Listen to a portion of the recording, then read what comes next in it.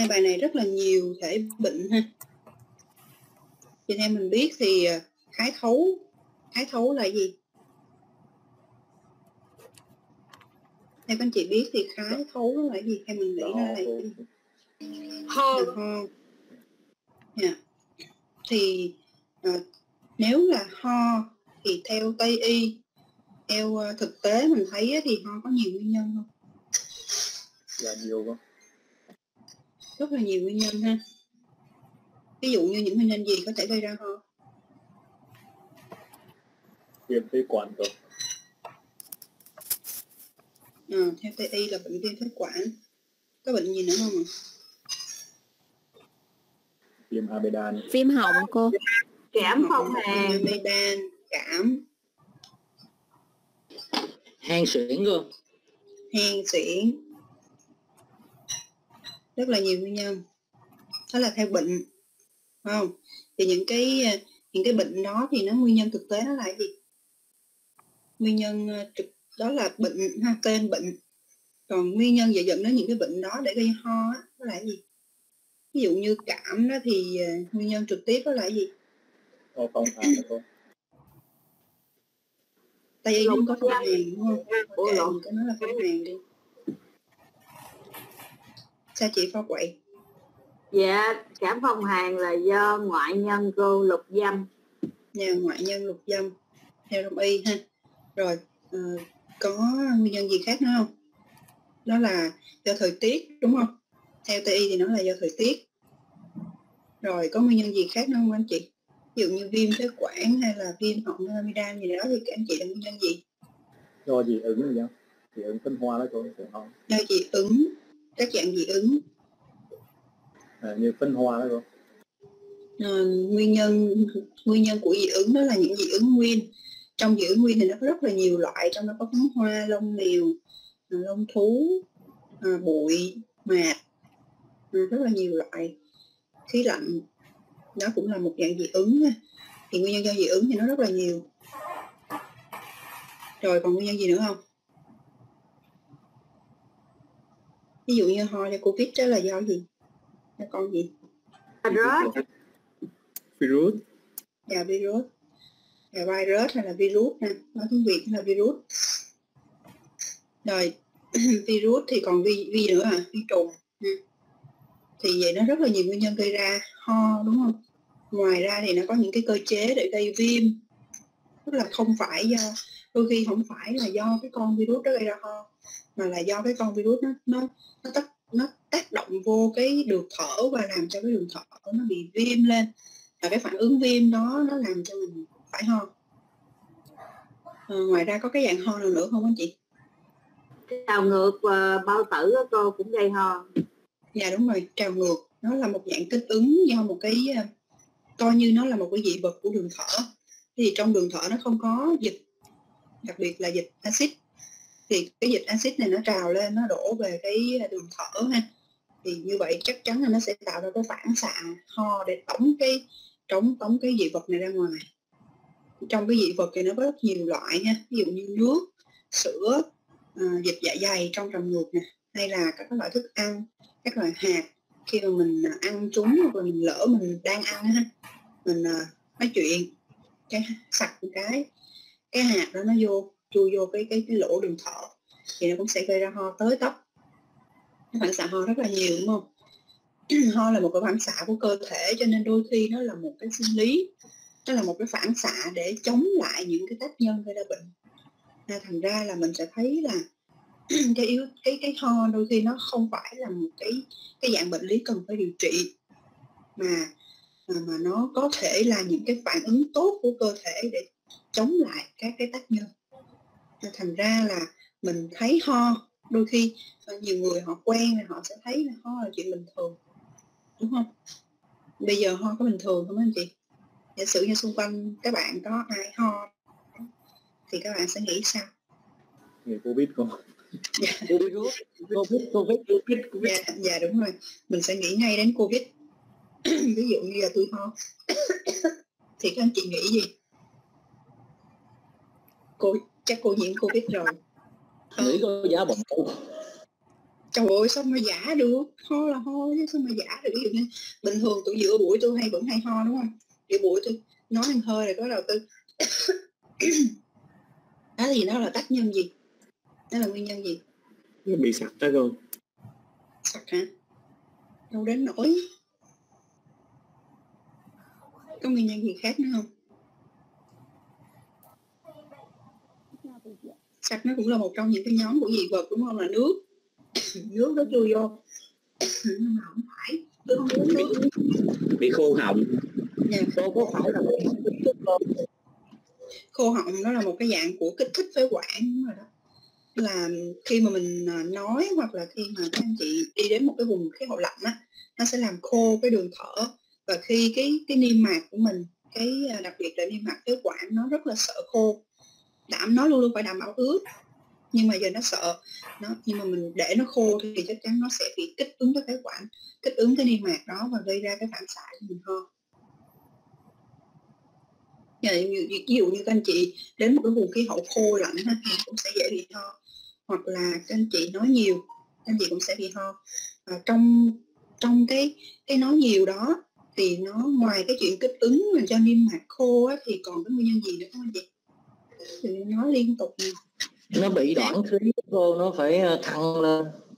À, à dạ, anh Đức thì anh nói về cái cái nguyên nhân đông y rất là đúng.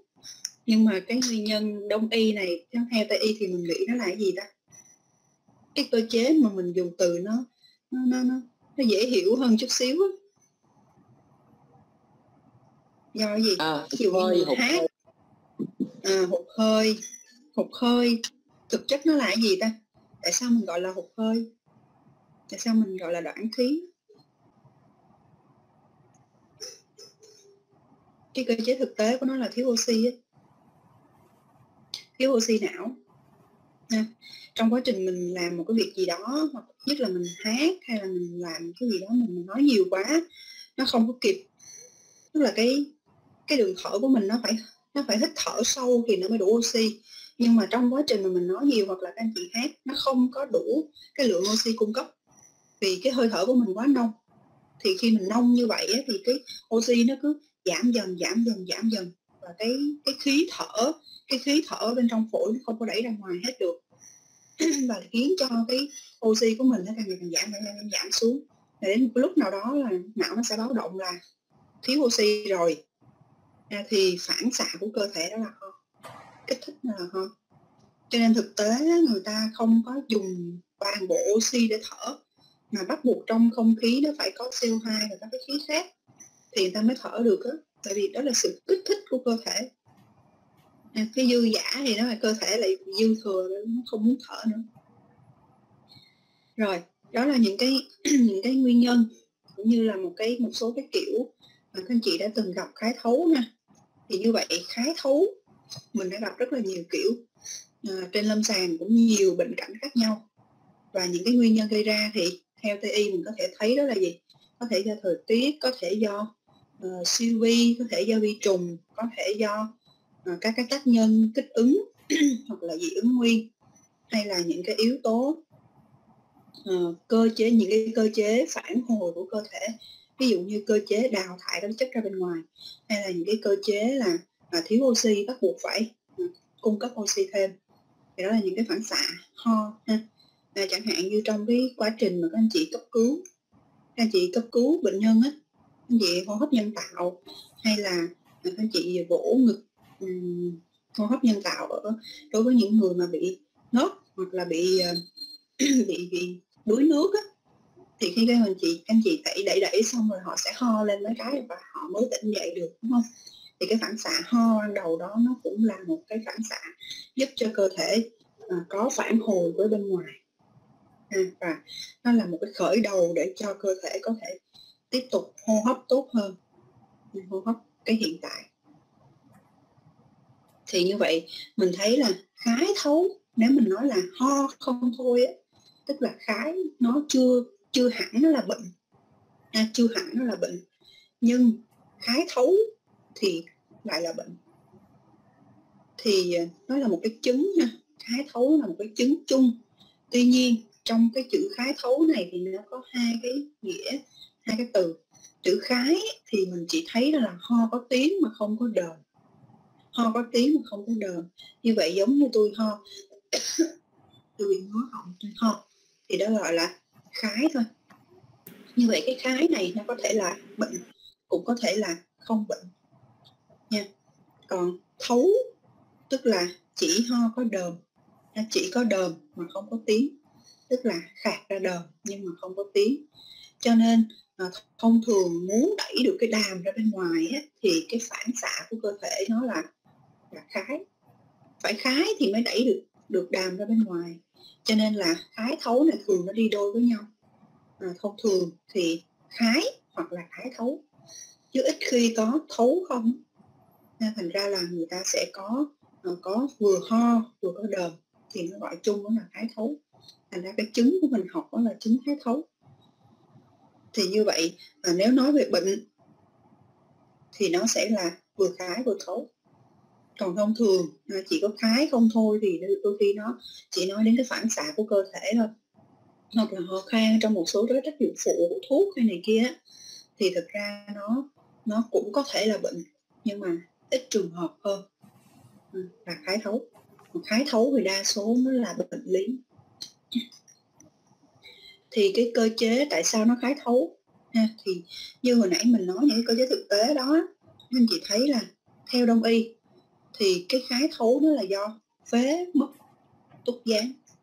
Nên nó gọi là phế mất tuyên túc tức là tuyên phát và túc gián. Phế có chức năng là chủ túc gián chủ tuyên phát thì nó không có túc gián được tức là nó không có đi xuống được.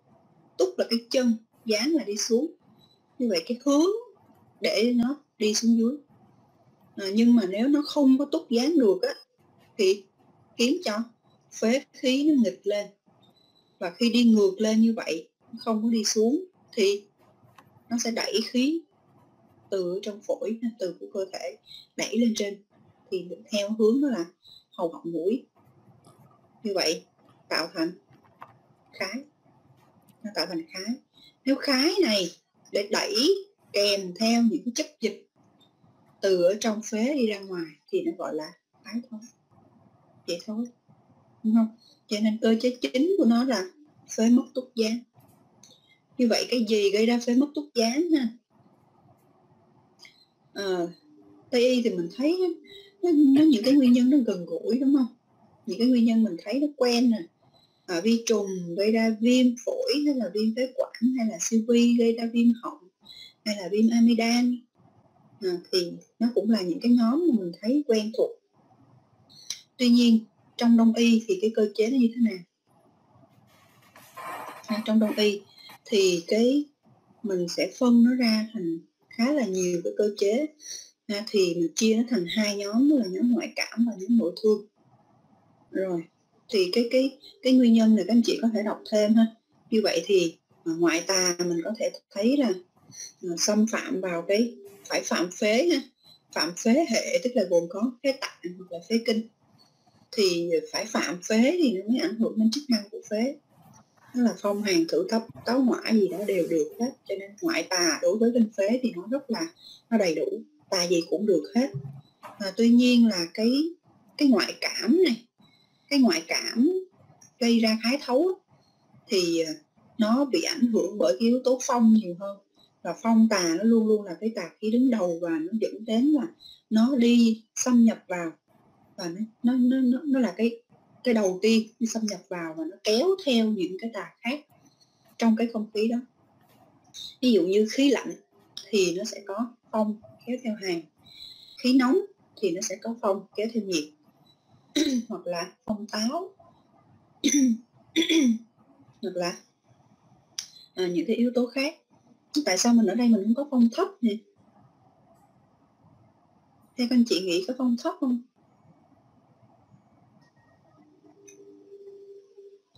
Mình sẽ thấy là có những bài thì có những bài thì phong thấp nhiều.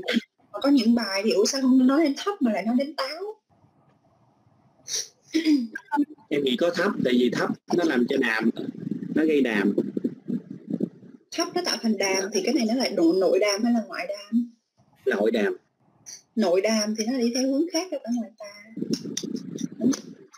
thấp thường là nó ở phía dưới cho nên nó không có phạm với với nằm phía trên.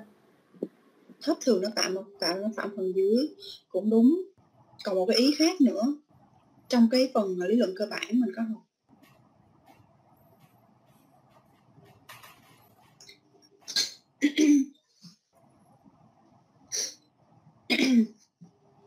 sao? Lý do tại sao mà mà nó lại bị, lại phong báo chứ không phải là phong thấp.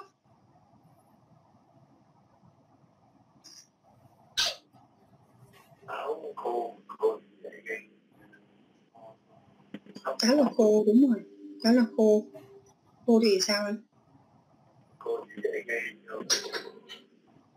Dễ gây gì ạ? Dễ gây ho. Cái bên cái mic của Huy Hồ này rất là khó nghe nha. Rất, rất khó nghe. Nghe không được.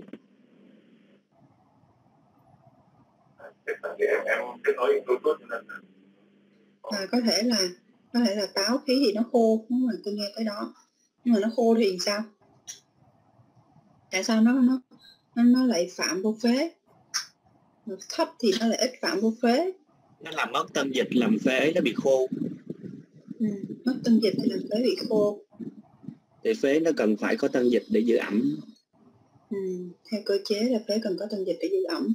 Ngay trong cái lý luận cơ bản mình có một câu đó là táo khí thương phế. Đúng không? Nó thuận theo lý luận cơ bản luôn rồi. Nó thuận theo ngũ hành. Một là táo khí thương phế không à, hai là là gì? Phế bản chất của nó là cần phải ẩm ướt.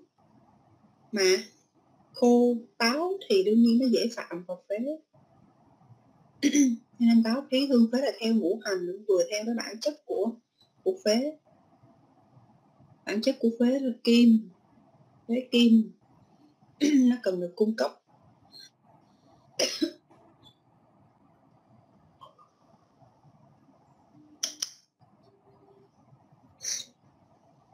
Cho bạn sẽ thấy những cái những cái tà nào nó thuộc về cái tà nào thì nó sẽ cũng dễ ảnh hưởng lên cái tà đó ha.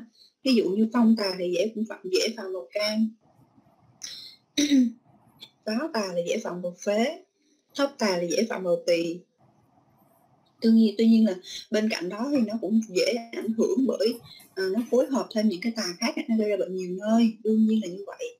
À, nhưng mà có một số bệnh mình sẽ thấy là cái nào nhiều hơn thì mình sẽ phân tích cái đó nhiều.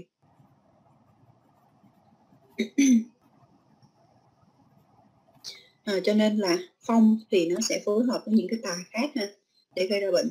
Trong đó phong hàn là yếu tố nhiều nhất. Thì hàn này nó cũng là một cái cái, cái yếu tố gây ra bệnh cho phế ha. À, đường thở nó cần phải có gì? Giữ ấm và giữ ẩm. Cho nên là nếu mà lạnh thì nó cũng sẽ là yếu tố gây ra bệnh. Rồi một số cái tạng phủ khác ha từ những cái công năng của tạng phủ khác nó rối loạn cho nên là à, nó ảnh hưởng lên qua cái tạng phế. Những cái tạng khác ha, truyền bệnh cho tạng phế. Hoặc là một số nguyên nhân gây ra tạng phế tự bị bệnh. Ở đây mình xem cái cơ chế ha mình xem cái sơ đồ cơ chế thì mình thấy ngoại cảm thì nó có thể rất là nhiều yếu tố phong hàn phong nhiệt phong táo hay là ghép ghép những cái yếu tố này lại ha táo nhiệt thì nó là lục dâm ha. Khi mà lục dâm thì nó sẽ thông qua những cái yếu tố những cái con đường đó là miệng mũi hoặc là da lông để đi vào phế. Vì phế chủ bì mau. Phế thì có con đường đi lên mũi nó khai khiếu ra mũi. Cho nên là nó sẽ đi theo cái hướng đường thở để đi xuống hoặc là đi theo hướng tác động của da lông tác động lên à, vệ phế vệ và ảnh hưởng vào phế tinh phế tạng thì đó là một cái con đường. Và cho dù là nguyên nhân gì thì nó sẽ gây ra phế mất túc gián và phế khí đi ngược lên trên tức là phế khí nghịch. Khí nghịch thì nó sẽ đi ngược lên trên và gây ra khái thấu trong nhóm nội thương thì mình sẽ thấy là uh, nhiều nguyên nhân ha. Nhóm nội thương tức là ở đây là mình nói nội thương của phế ha chứ không phải là nhóm uh, nội thương là nguyên nhân nội thương do tạng phụ đúng là do tạng phủ nhưng mình đang nói nội thương mình tách nó thành hai nhóm là nhóm ngoại cảm phạm mô phế. Và nhóm phế bị nội thương thì nội thương ở đây mình sẽ có nhiều cái ý. Một đó là những cái cái à, ẩm thực hay là lao nhọc làm cho tỳ nó bị mất kiện vận. Tỳ nó mất kiện vận thì sinh ra đờm. Và đờm chọc này có thể lưu ở phế khi mà nó chuyển vận lên. Thì như vậy ở đây nó là nó cũng là đờm thóc này ha đờm thấp nhưng đờm thấp này được tạo ra bởi tỳ mất kiện vận. Như vậy tỳ mất kiện vận này có thể do tỳ hư không vận hóa hoặc là ăn uống quá nhiều gây ra tỳ không vận hóa hết. Như vậy cái này là nội thấp nội đờm đúng chưa? Nội thấp nội đờm này làm cho lưu động ở tại phế. Như vậy đó là một cái dạng ờ, uh, ho mạng tính và có đờm nhiều thì cái này mình sẽ phải chữa cả phế và cả tỳ hoặc là chữa đờm một cái nguyên nhân thứ hai đó là cái thất tình. Thất tình à, lâu ngày gây ra thương tổn bên trong thì cũng khiến cho cái khí cơ nó không lưu thông và can hỏa này phạm phế. Thì nó cũng là một cái nhóm à, khá là nó gọi là bất hòa. À, tuy nhiên thì cái nhóm này nó hơi khó một chút nha một cái nhóm nữa đó là phòng phòng dục bệnh lâu ngày. À, phòng lao tức là lao phòng là là lao lực phòng dục bệnh lâu ngày là cửu bệnh. Thì nó gây là tổn thương thận âm. À, thận âm hư thì hư hỏa nó sẽ bốc lên trên và cũng đẩy cái khí nó ra ngoài. Hoặc là tổn thương thận dương. Thì dương hư thì sinh nội hàn bản thân cái cái thuận dương nó không có ôm ấm được à, cho nên là cũng đẩy cái phế khí ra. Hoặc là phế tạng tự bị bệnh. Phế tạng tự bị bệnh thì nó có thể thông qua những cái những cái à, cái à, cơ chế những cái nguyên nhân ví dụ như là phế bị bệnh lâu ngày à, hay là phế những bệnh như là tác nhân nào đó kéo dài là từ tinh phế từ những cái cái cái tác nhân khác nó làm cho phế bị suy kém nó là phế tự bị bệnh. Như vậy những nguyên nhân gây ra, cái thấu là rất là rộng. Và cái bệnh cảnh lâm sàng thì mình thấy là mình sẽ chia thành hai nhóm một nhóm là ngoại cảm khái thấu và một nhóm là nội thương khái thấu. Trong nhóm ngoại cảm này mình thấy nó có khá nhiều. Tuy nhiên ở đây mình gặp nhiều, mình gặp ba cái bệnh cảnh này là nhiều nhất. Đó là phong hàn thuốc phế ha, phong nhiệt phạm phế và táo nhiệt thương phế. Ờ, có một số nơi thì người ta ghi là táo tà thương phế hoặc là táo khí thương phế thì cũng được thôi. Ở đây mình nói vừa táo vừa nhiệt luôn ha, thì nó là hai yếu tố tà. Nhóm nội thương thái thấu thì mình thấy có đàm thấp đàm thấp uẩn phế đàm nhiệt uất phế và phế âm quy tổn hay là mình còn gọi là phế âm hư. Và phế khí hư hàn mình gọi là phế khí hư.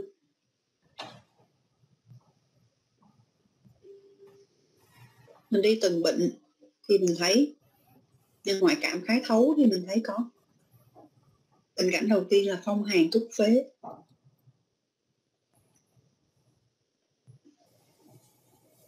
Thì như mình tác nhân hồi nãy nha, thì mình thấy phong hàn túc phế là là do phong hàn nó tác động không tác động vào phế thông qua các cái yếu tố nguyên nhân thông qua những yếu tố cái con đường như là da lông hoặc là mũi họng. Ví dụ như mình hít vô khí lạnh hoặc là mình đến một cái vùng uh, khí lạnh mình hít cái hơi lạnh vô hoặc là uh, da lông của mình bị ảnh hưởng ha thì nó cũng sẽ bị bị cảm. Và cái bị cảm thì nó gọi là phạm phạm vào phế thì mình gọi là phong hàn bó buộc phế nó bó bọc phế thì gọi là phong hàn thúc phế. Triệu chứng chính là ho mà tiếng nói khàn. À, có thể là có khạc đàm loãng ít mà màu trắng. Như vậy nó cũng là khái thấu và cộng thêm có thể tiếng nói khàn. À, do cái hơi lạnh rồi triệu chứng thứ hai là cái biểu hiện của những cái ngoại cảm phong hàn à, ngoại cảm phong hàn thì có thể có ngứa họng nghẹt mũi chảy nước mũi hay là kèm theo đau đầu đau mình mẩy hay đau nhức các khớp. Nó là do hàn nó nó phạm vào cả cơ thể và nó gây ra bế tắc những cái vùng cơ thể luôn mà không chỉ là ở vùng phế. Và thường thì phong hàn nó sẽ tác động đầu tiên là trên vùng đầu lên vùng đầu ha, thường là mình sẽ thấy là đau đầu chảy nước mũi trước đúng không? Rồi sau đó mới lần lần lần tới ho có không? Tới ho khan là bắt đầu có hạt ít một đàm trắng loãng đúng không? Loãng. Còn ban đầu thì có thể là gì? Ngứa họng nghẹt mũi chảy nước mũi có thể kèm theo đau đầu đau mình mẩy đó là biểu hiện của ngoại cảm phong hàn. Như vậy đặc điểm này có thể kèm theo và thông thường là nó có luôn. Thông thường là nó sẽ có và có trước khi tiếng ho nữa.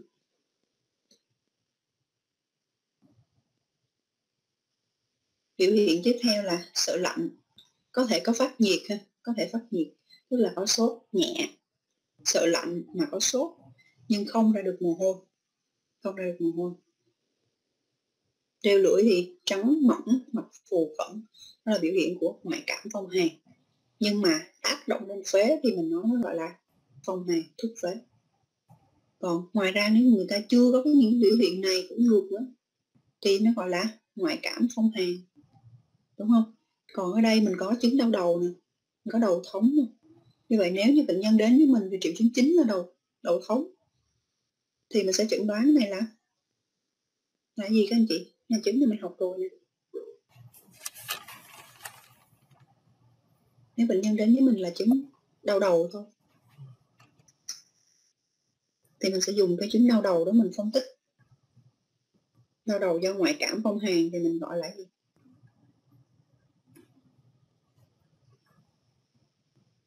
Phong hàn phạm kinh lạc phong hàn. À, trong bài hôm bữa mình gọi là đau đầu do phong hàn đúng không? Rất là đơn giản. Còn không có thì mình sẽ nói cụ thể nó ra hơn đó là phong hàn phạm kinh lạc vùng đầu nó đúng không nó phản kinh lạc vùng đầu thì nó sẽ thể hiện được cái đau đầu. Đúng không? Còn ở trong cái thuật ngữ là ngoại cảm phong hàn thì nó sẽ thể hiện nhiều vị trí hơn. Nó có thể vị trí ờ, mũi họng hay là vị trí là đầu hay là mình mẩy ngoại cảm phong hàn ở các khớp xương, ở các quan tiết thì nó gọi là đau nhức khớp xương. Thì khi nếu mà nó ở các quan tiết thì mốt mình sẽ học một bài nữa là chứng tí thì nó sẽ gọi là gì? Phong hàn phạm quan tiết thấy không? Cho nên các anh chị sẽ thấy là một cái chứng nó có thể là do nhiều nguyên nhân gây ra và có thể nằm trong nhiều bệnh cảnh khác nhau. Ừ, tuy nhiên, một bệnh cảnh thì có thể gây ra rất là nhiều triệu chứng. Do vậy ờ, những cái bệnh cảnh này nè anh chị sẽ thấy nó sẽ trùng lắp nhau ở rất là nhiều cái bài. Ở rất là nhiều bài. Thì các anh chị sẽ cần phân biệt cái chính yếu á, nó không có dư thừa không dư thừa. Mình sẽ cần phân biệt cái chính yếu đó là cái tính chất của triệu chứng chính cộng thêm những cái triệu chứng đặc trưng của của yếu tố nguyên nhân của yếu tố bệnh cảnh thì à, bệnh nhân có thể đến với mình vì bất kỳ nguyên nhân gì. Ví dụ như bệnh nhân đến với mình vì ho thì mình sẽ dùng cái chứng này thì mình sẽ phải phân tích cái triệu chứng chính của bệnh nhân đó là ho. Đôi khi bệnh nhân chưa có ho, bệnh nhân đến với mình vì đau đầu hay là sổ mũi thì mình phải phân tích cái triệu chứng chính của bệnh nhân. Nên là một số bệnh nhân không có đau đầu, không có bị ho mà người ta đau mình. Ví dụ như đau vùng cổ gáy đi, thì như vậy đau vùng cổ gáy này mình phải phân tích cái chứng này ra. Và tính chất của những cái chứng chính là cái gì? Thấy không? Rồi đau cái khớp xương thì nó là gì.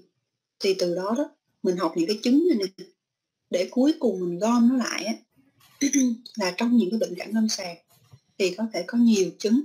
Và những cái chứng này có thể đi một bộ thì mình sẽ chẩn đoán là một bệnh cảnh thôi. Đúng không ạ? Nếu như cái những cái chứng này nè cũng là ho đờm ít trắng loãng cũng là đau đầu đau mình mẩy thì mình sẽ chẩn đoán một chứng thôi một một bệnh cảnh lâm sàng thôi, đó là phong hàn thuốc phế. Nha, phong hàn thuốc phế. Thì thường thì nó sẽ đi kèm theo cái này. Nhưng mà nếu giả sử như có thêm cái này thì nó lại không nằm trong bệnh cảnh này. Kèm theo đau nhức xương khớp, người ta lại chẩn đoán thêm cái cái bệnh cảnh cái vị trí của đau nhức xương khớp đó. Bởi vì thuốc phế thì nó chưa có đau nhức xương khớp. Phải thuốc vào quan tiết nữa, nó phải phạm vào quan tiết nữa nó mới đau nhức xương khớp. Thấy chưa? Cho nên là như vậy nếu như bệnh nhân có một chùm triệu chứng giống cùng một tính chất thì mình sẽ chẩn đoán một bệnh cảnh lâm sàng cho cái gì đó không à, ờ, nhưng mà ngược lại nha ngược lại bệnh nhân ở đây chỗ này thì à, ho đàm ít trắng loãng kèm theo nghẹt mũi chảy nước mũi. Nhưng mà đau đầu của người ta thì lại đau đầu vùng đỉnh nhức dữ dội à thì chưa chắc là là phong hàn phải coi lại là biết đâu tạng can nó bị bệnh chứ không phải phong hàn đúng không? Can dương vượng sao? Như vậy thì nếu như tính chất của đau đầu này khác nguyên cái bệnh cảnh này, thì như vậy phải phân tích hai chứng khác nhau. Anh chị nắm được không? Như vậy mình phải phân tích ái thấu, ở đây là phong hàn thuốc phế. Và đầu thống này nó là đau đầu vùng đỉnh căng như mặt độc kèm theo là tức giận đau tăng. Thì như vậy mình thấy tính chất của này không phù hợp với bệnh cảnh đang chẩn đoán. Vậy phải phân tích một cái chứng này riêng nữa. Và tính chất của đau đầu ở đây là kiểu gì các chị? Đau căng như mặt đập đau tăng khi tức giận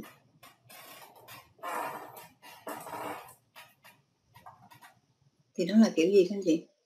Can dương thượng can nhà can dương thượng can can dương xung như vậy chẩn đoán thêm một cái bệnh cảnh nữa đó là phong hàn thuốc phế phải can dương xung can dương thượng can can hỏa thượng viêm gì đó tùy tùy theo những triệu chứng kèm theo.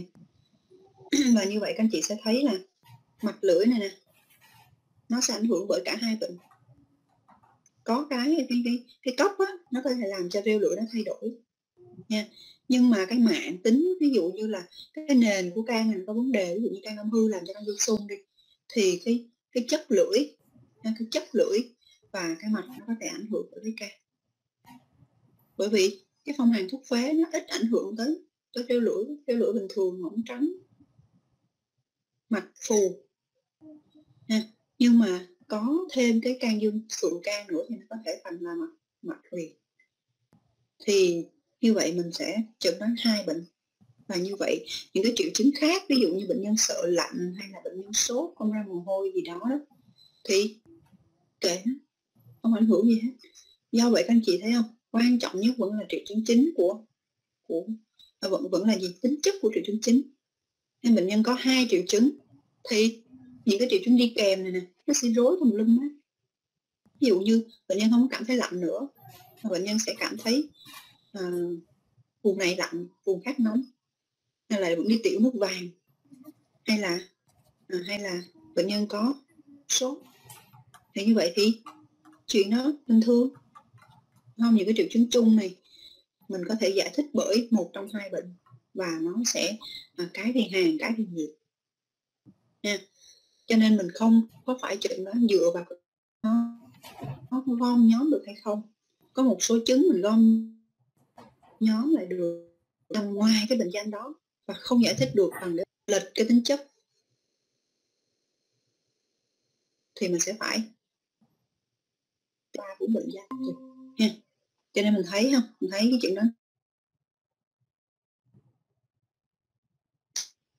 à, đây không phải là thuộc nữa ha anh chị phải nắm cái yếu tố chính và cái cái cách để mình chẩn đoán thôi một cái chính cộng với những triệu chứng đi kèm. Và triệu chứng đi kèm có thể có hoặc cũng có thể bị lu mờ bởi những cái bệnh lý khác kèm theo à, cho nên cái cái triệu chứng chính thì giúp mình chẩn đoán cái bệnh đó thôi.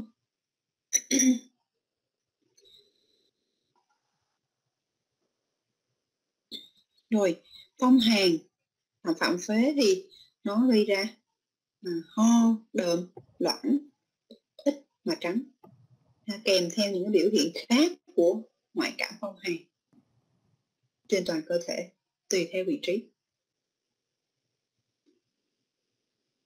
Còn phong nhiệt phạm phế phong nhiệt phạm phế thì là ho khạc đàm vàng đặc đàm vàng và đặc ha. Đây là biểu hiện của nhiệt rồi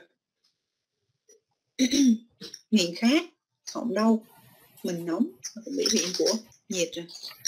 Đau đầu sợ gió ra mồ hôi là phong nhiệt ha. Treo lưỡi vàng mặt phù mặt sát như vậy là biểu hiện của ngoại cảm phong nhiệt. Đây là biểu hiện của ngoại cảm phong nhiệt trên toàn cơ thể. Thấy không? Như vậy thì bệnh nhân ho cảm chưa chắc người ta có đau đầu phải không ạ?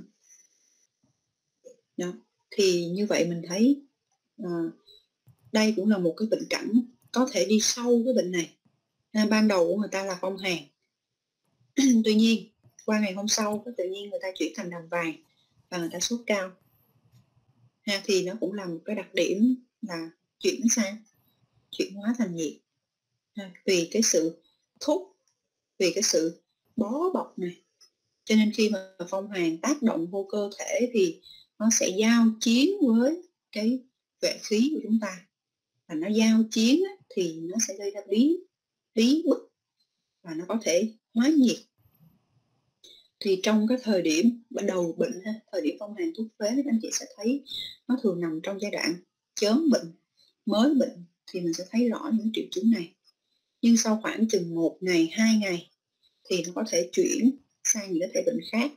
Trong đó có thể thể nhiệt hoặc là đàm nhiệt hoặc là phế hư gì đó tùy còn phong nhiệt mới mất á phong nhiệt này là mình đang đang đang nói đến một phong nhiệt mới mất nè đó là cảm phong nhiệt luôn. Ngoại cảm phong nhiệt thì mới có sợi gió à, sợi gió ra mồ hôi. Đó là ngoại cảm mới mất nó khác tính chất đàm ha thể thứ ba là táo nhiệt thương phế. Là táo nhiệt làm tổn thương phế. Tổn thương ở đây, có thể đầu tiên là tổn thương phần tân dịch bởi vì nó khô, táo, nóng, thì triệu chứng ho sẽ là ho khan. Vì nó khô cho nên là nó không có không có tiết ra, hoặc là ít đàm thôi, hoặc là đàm như cái sợi dài mà không có dễ khạc ra. Thì vì là gì ạ? Táo là nó khô. Còn nhiệt thì nó nó cũng là thiêu đốt tân dịch. Nó cũng làm hư hao cái tân dịch làm cho cái tân dịch ở trong đây nó đi ra không nổi nó không có để ra. Thành ra đàm này nó sẽ là đàm đặc dính hoặc là ít hoặc là nó thành sợi mà không có dễ khạc. Mà nó bám nó dính lại ở bên trong cái niêm mạc nó khó khạc. Kèm theo là à, táo táo và nhiệt thì nó gây ra họng khô mũi khô thậm chí là đau ngực mới đầu thì có thể có sợ lạnh ha mình nóng và đau đầu đó là biểu hiện của phong nhiệt nên biểu hiện của nhiệt phạm phế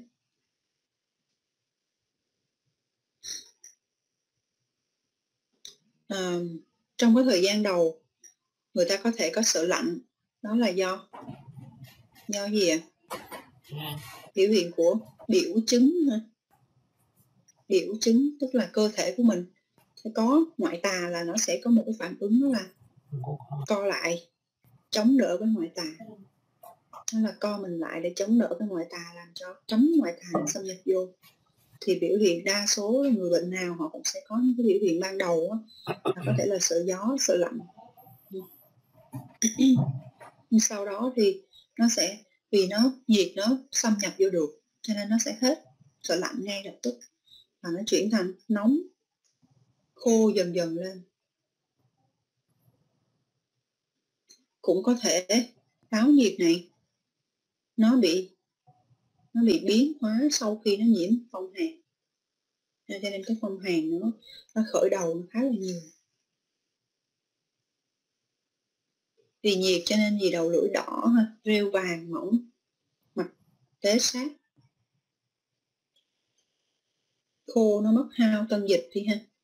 Nó hao tân dịch, nó có biểu hiện tương tự như là biểu hiện của âm hư.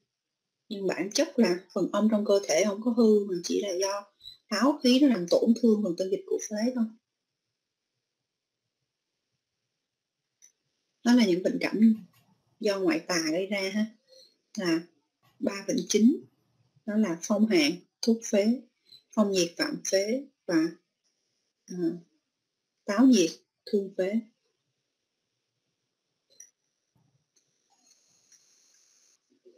Cái bệnh cảnh nội thương thì mình học bốn cái bệnh cảnh. Nội thương thứ nhất là do đàm đàm thì có thể sinh ra bởi tỳ thì nó có hai thể đó là thể đàm thấp và thể đàm nhiệt. Thể đàm thấp á, đàm thấp nó nó ứ động ở phế. Tức là ở đây bệnh nhân có thể là do ăn nhiều quá hoặc là tỳ hư sinh ra đàm. Nhưng mà tỳ hư thì nó không đơn thuần là đàm thấp uẩn đàm thấp uẩn phế mà nó sẽ có cái thể khác nữa đó là ví dụ như là là tỳ khí hư. Và nó nó sẽ đi cùng với cái bệnh cảnh này. Còn bệnh cảnh này đơn thuần như vậy thì thông thường là do người ta ăn nhiều gây ra thôi thường là hay gặp ở những người béo phì béo bẹo phì bạn. Hoặc do và khi người ta ăn nhiều đồ béo ngọt đó, thì bệnh sẽ nặng hơn. Thì triệu chứng chính là ho đờm nhiều. Tiếng ho thì nặng đục đàm dính nhớt dễ khạc. Thường màu trắng thì nên đàm thấp ha đàm thấp. Và đàm thấp hữu hình nó ứ động ở phế sinh ra bởi tiền.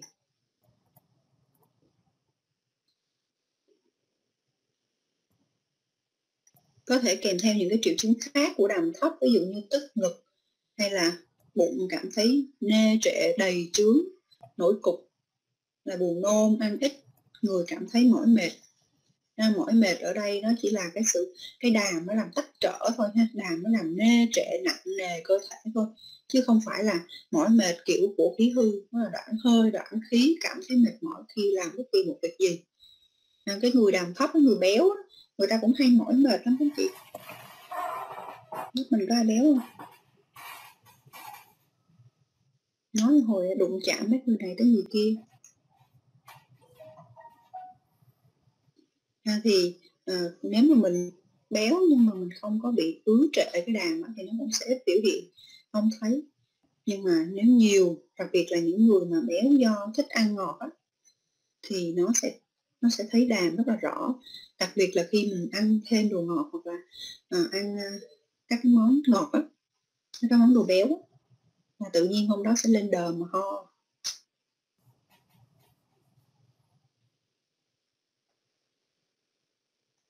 Treo lưỡi trắng nhớt mạch nhu hòa cũng là biểu hiện của đờm. Như vậy biểu hiện của đờm thì nhiều ha, cũng nhiều. Nhưng mà biểu hiện trên phế đó là tắc nghẽn ở phế thì sẽ thể hiện ở ho đờm nhiều và tiếng ho nặng đục đờm nhớp dính dễ khạc màu trắng. À, như vậy đây mới là biểu hiện chính của đàm ở phế này mà còn những cái chỗ khác đó những cái triệu chứng khác có thể kèm theo là biểu hiện ở bên ngoài phế thấy không?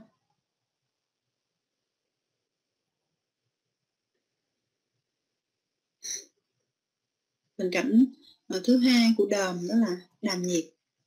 Đàm nhiệt uất phế.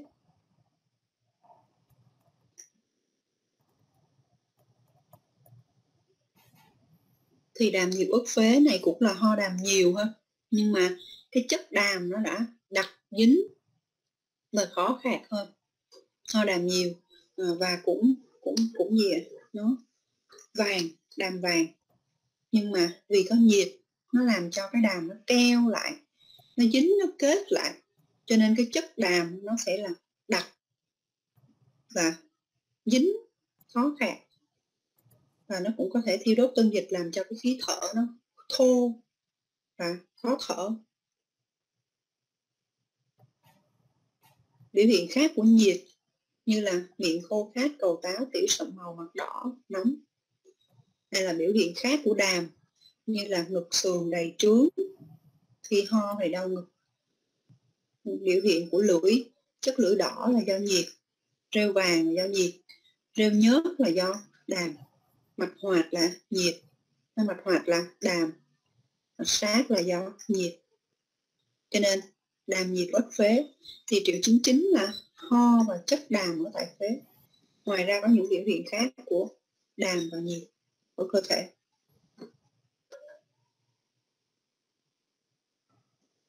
Nên một bệnh cảnh một bệnh cảnh thông thường là nó sẽ có triệu chứng kèm theo. Nó sẽ có, có triệu chứng kèm theo. Cho nên là anh chị sẽ luôn chú ý cái bệnh cảnh chính và cái triệu chứng chính và những cái bệnh cảnh đi kèm nếu bệnh cảnh đi kèm này phù hợp tốt sẽ dễ chẩn đoán hơn nhiều. Nếu bệnh cảnh này bệnh cảnh đi kèm này không phù hợp coi chừng trên người bệnh nó có một cái biểu hiện bệnh lý khác. Ha.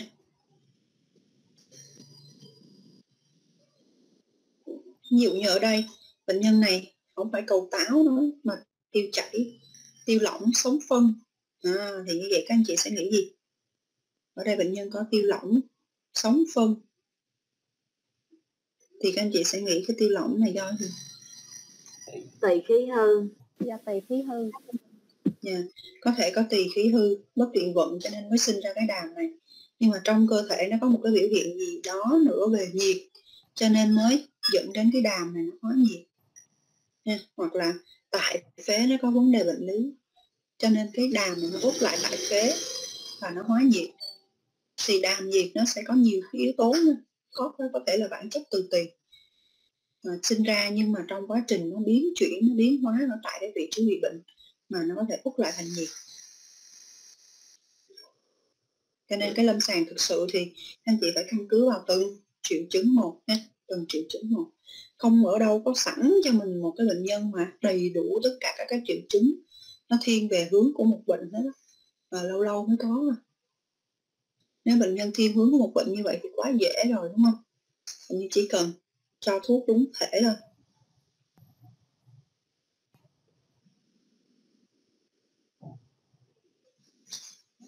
Rồi. Cái bệnh cảm tiếp theo là nội thương thì mình học hai cái bệnh thôi, là bệnh phế âm hư và phế khí hư. Đó là bệnh đơn bệnh đó nha đơn bệnh. Còn ngoài ra thì à, từ phế khí hư nó có thể ảnh hưởng đến những cái tạng khác hay là phế âm hư nó có thể đi kèm với phế khí hư hoặc là nó ảnh hưởng chung với những cái thằng khác.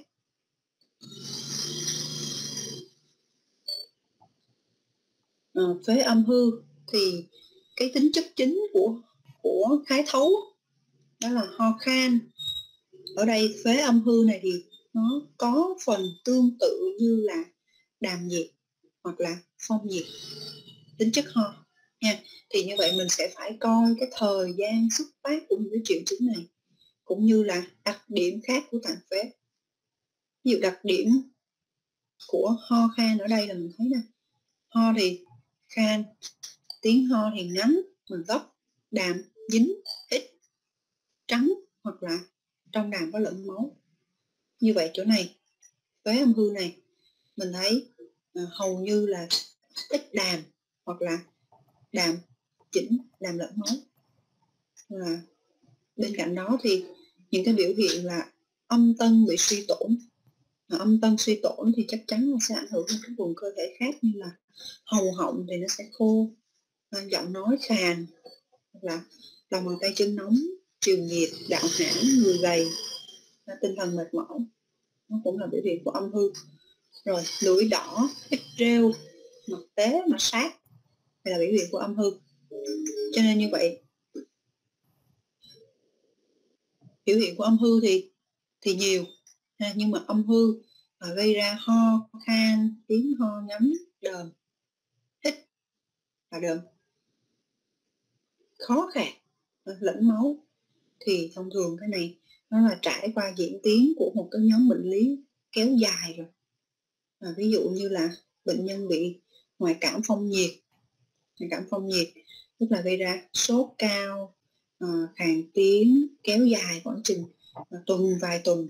Ừ, đặc biệt ví dụ như những người sau khi bị ờ, viêm phổi hay là viêm phế quản hay là lao á, lao phổi á, thì người ta sẽ dẫn đến cái bệnh cảnh như thế này.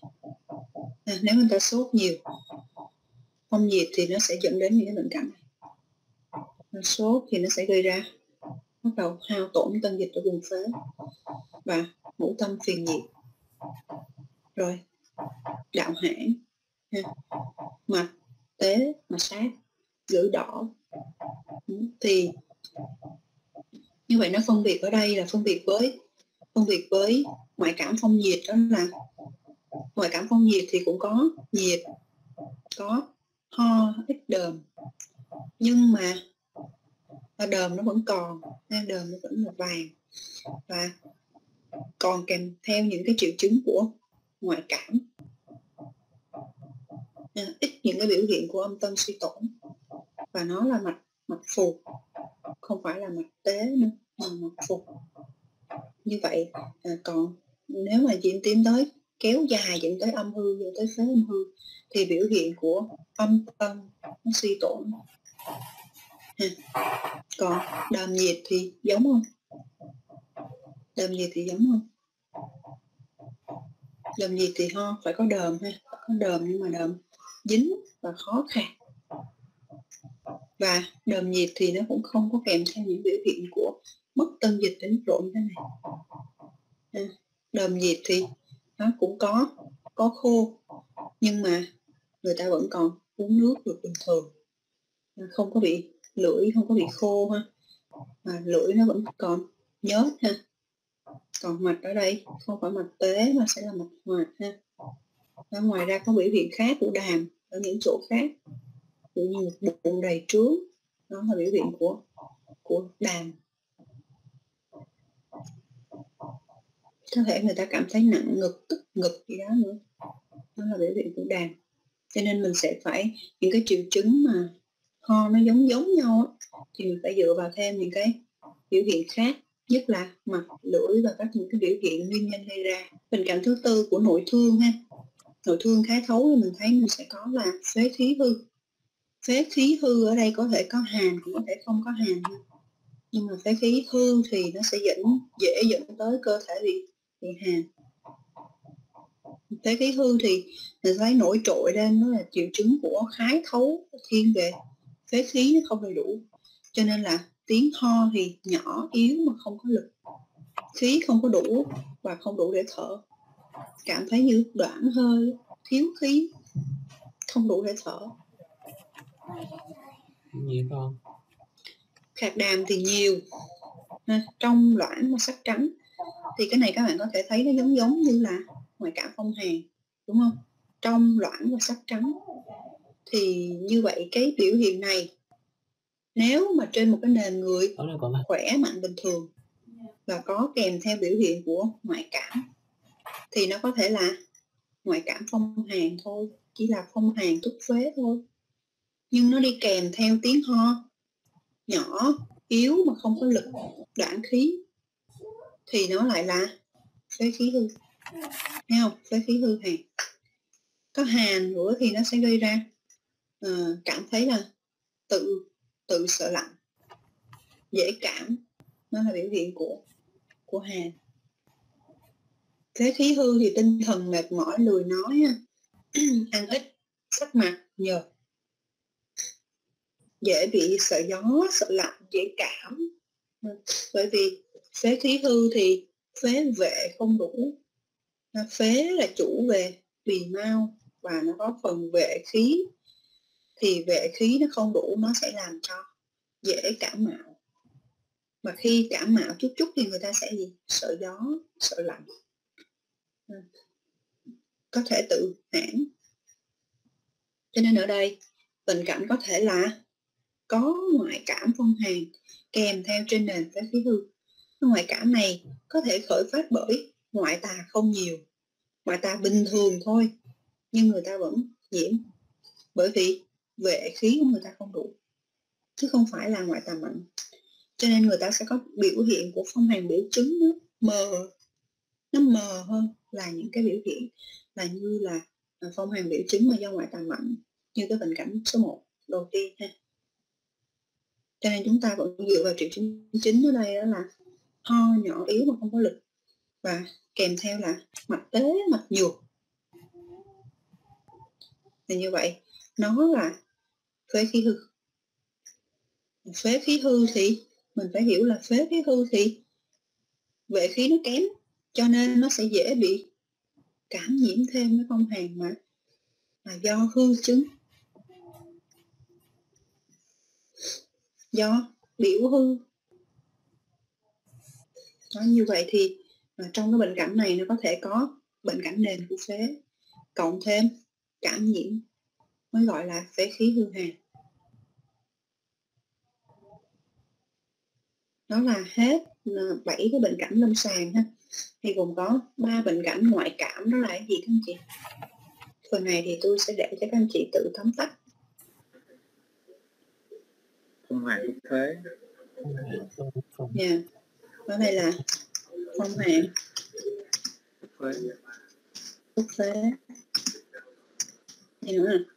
Không nhiệt thúc phế thì, thì cái này triệu chứng chính là gì ho nói tiếng khàn ờ, ho dễ khàn còn gì nữa không? Khàn đàm loãng hết màu Một trắng cái- đàm loãng. Đàm loãng ít màu trắng đúng không? Đại đây là đàm loãng ít màu trắng ha. Ho. Khàn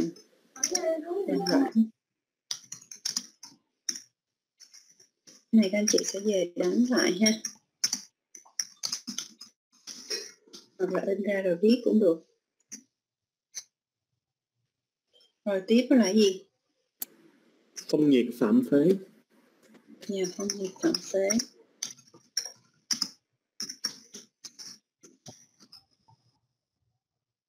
Triệu chứng chính là gì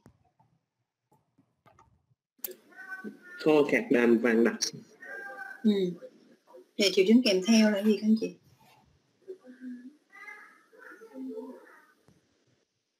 Kèm theo ở đây là người cảm. Cảm không gì đúng không? Thì những cái cụm này, này các anh chị sẽ học thuộc hết nè. Nó mốt mình học phần ngoại cảm cũng vậy thôi. Đó các anh chị sẽ thuộc hết những cái cụm này khi mà nói đến cảm phong nhiệt thì hình dung trong đầu liền nó sẽ có những triệu chứng gì? Ha, ở trên đây cũng vậy. Nó sẽ là cái ngoại cảm. Phong hàn như vậy cái cụm ngoại cảm phong hàn thì nó có sẽ có ở trên rất là nhiều cái bệnh cảnh liên quan tới ngoại cảm. Là một có là ngoại cảm phạm phế, hai là ngoại cảm gì trong tuyến đầu thống, ba là những cái ngoại cảm ở quan tiết, kinh lạc đúng không? Bốn là những cái ngoại cảm mà trong các cái trứng đi kèm. Mà mai mốt các anh chị học những ngũ quan mũi tị hầu, thấy không? Viêm họng, viêm mũi, có ngoại cảm không? Thấy chưa? Cho nên là mình sẽ lại lặp lại nó trong những cái cụm, cho những cái cụm này nè. Hồi đầu tôi nói rồi ha, các anh chị phải nhớ hết những cái cụm. Là từ cái bệnh cảm à, ngoại cảm như các anh chị chưa được học trong phần lý lý đúng không? Chắc chưa quá. À, tôi thì tôi hay nói nhiều. Một số người khác nhiều khi ta chỉ dạy hết cái phần bài rồi thôi đâu có nói thêm gì. Rồi thì cái phần ngoại cảm mình như tôi có để một số bài cuối của chương trình à, triệu chứng á, thì tôi có hướng dẫn thêm những cái triệu chứng của ngoại cảm. Có ngoại cảm thương hàn ôn bệnh lục dâm À. À, và những cái triệu chứng của à, ngũ quan. Thì những cái đó mình học cái phần triệu chứng tốt đó, thì mốt mình ra mình học bệnh nó cũng sẽ dễ hơn. Nè, bệnh cảm tiếp là cái gì nữa hả?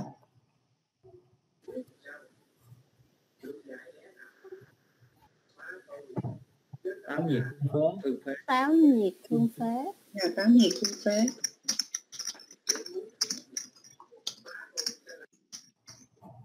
rồi cứ thế tiếp tục ha. Táo nhiệt thì nó sẽ là khô đúng không? Đàm nóng sợi. khô. Dạ, đàm ít mà khô sợi. Đúng rồi. Biểu hiện ngoài ra đó là biểu hiện của táo và nhiệt.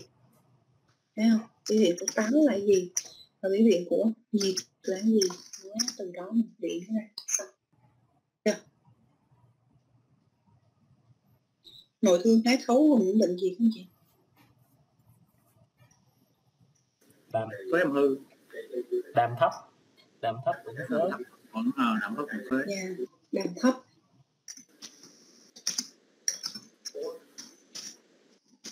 Cũng phế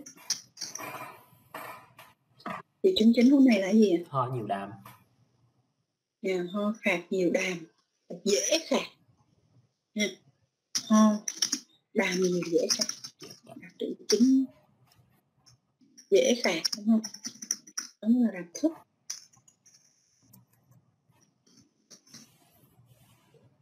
triệu chứng triệu chứng kèm theo là triệu chứng của đàm. Đúng không? Triệu chứng của đàm đúng không? rồi tiếp. Tình cảnh tiếp theo. Đàm nhiệt cũng thế đàm nhiệt. Hốc phế triệu chứng là ủa uẩn với uẩn với út là gì cô? Khác nhau gì? Có giải thích có giải thích ở trên bài đó anh. Có giải thích trong bài rồi đó. Ổn là ứ động anh hiểu. À, nó nằm nó, nó luẩn quẩn. Nó, nó luẩn quẩn thôi nó không có ra được động lại. Út là gì? Kết. Út là kết hả? nó dễ bị nó dễ nó dễ kết.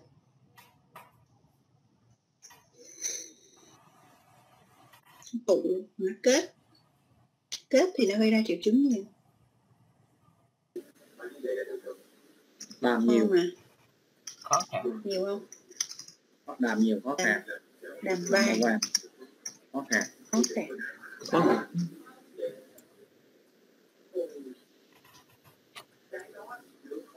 được thì triệu chứng kèm theo là này là vừa đàm vừa nhiệt. Trên thì là đàm. À, khóc khóc này có thể kèm bởi tỳ hay những cái triệu chứng tại tỳ hay gì đó ha. Cái gì các anh chị sẽ hình dung ra nó dễ không thấy không? Này đó đi ra đây. Mô tả triệu chứng chính ra mình cảm tiếp theo. Em hư cái âm hư âm hư triệu chứng là gì ta? Ho khan. Dễ khang khan. Đàm lẫn máu. Gì nữa không? Ờ, dễ bị khạc đàm lẫn máu. Đàm lẫn máu.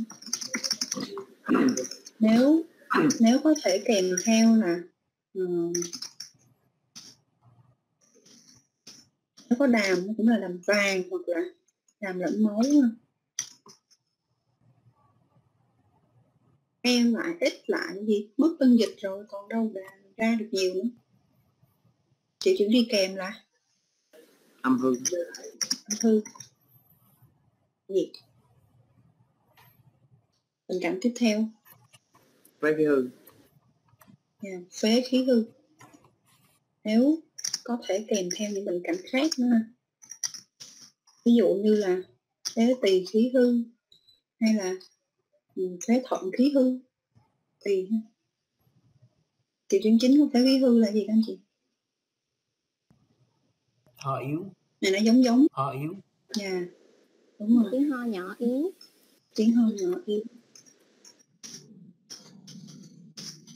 Nhỏ yếu và kèm theo là hơi thở. Hơi thở sao ạ yếu. Ngắn đoạn ừ. cảm thấy không là không đủ không đủ hơi. triệu chứng đi kèm.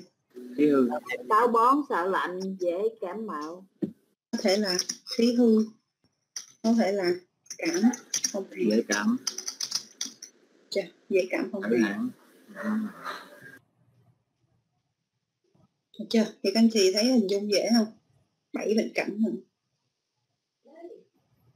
rồi, tham khảo cũng như đó. Nên một số bệnh chẩn đoán công việc chính trạng hay là cẩm nang và điều trị nội khoa cổ truyền ha. Nội khoa học cổ truyền của của giáo sư Nguyễn Thị Bay thì cuốn cuốn này cũng lâu đời lắm rồi, nhưng mà những cái triệu chứng thì nó cũng tương tự ha. Cách viết nó hơi khác chút xíu rồi lượng giá. B con. Ok. Câu gì ạ? B. Câu b. B. B. Ho khạc rồi một trăm. Câu B cô trăm. Bb rồi trăm phần trăm trả lời B luôn. Câu 2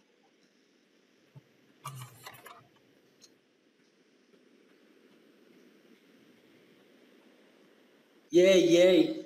Dê. Cô. Câu D. câu D cô D. câu A chứ. Câu D. câu A. Câu A. Câu A câu D là khí ai hư ai d ai a ai d ai a. Câu A là âm còn câu D là phế khí. Nói tóm tắt xong tức thì là nó lộn rồi. Âm hư thì sao hả? Ông mưa xin là mỗi à, mỗi máu mỗi nhịp cô A cô ba người cô lại cô A cô. Bứt rứt trong người. Đổi lại câu a. Câu A. Phải không? Ừ. nóng bức rứt hai gò má Lại chắc rồi đỏ cô. câu ba. An phận phế câu C Câu B cô. Câu B. c. C coi. Phạm câu C coi. Câu c. Câu C cô. Câu C. Ê coi C. d C C câu c c câu C đúng không à đây là nhóm mình là mới học nó từng triệu chứng ha. Là sẽ lượng giá cuối bài thì thấy là đánh rất là đúng. Nhưng mà cố gắng là đừng có quên và đừng có lộn trong những cái bài khác nha. Đến qua bài khác á tự nhiên cái sai tùm lum hết. Bốn bài kia hết nhớ rồi hết nhớ rồi chút xíu kiểm tra là tự nhiên nhớ à. Đại học này dở tỏ quán nhập ma cái tùm lum.